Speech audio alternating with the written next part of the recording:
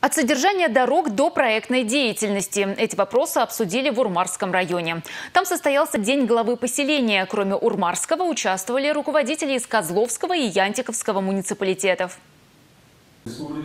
Круг вопросов, которые ежедневно приходится решать главам поселений, сегодня достаточно широк. Благодаря десяткам успешно реализованных проектов облик сел и деревень республики меняется на глазах. Но одним благоустройством полномочия не ограничиваются. Во главе угла повышение инвестиционной привлекательности территорий. Налоги, которые генерируют микро- и макробизнес, являются серьезным подспорьем не только для районных бюджетов, но и для местных. Поэтому каждый глава заинтересован в том, чтобы их количество росло. Большую роль здесь играет государственная поддержка.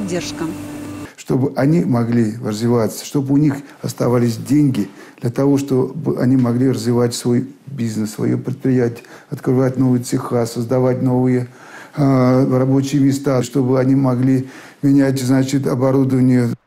Для выявления и тиражирования интересного опыта работы ежегодно проводится общероссийский конкурс «Лучшая муниципальная практика». У местного самоуправления республики серьезная заявка на победу.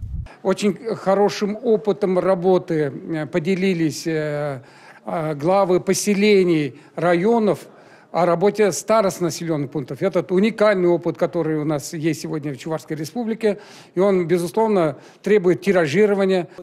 Обсудили вопросы взаимодействия местных властей с контрольно-надзорными органами и передачу полномочий по внешнему финансовому контролю и планируемые изменения регионального законодательства в сфере развития местного самоуправления. Завершился День главы в Доме спорта. Команды сельских поселений сошлись в турнире по волейболу и в соревнованиях по армрестлингу, где показали буквально буквальном смысле, как работать плечом к плечу.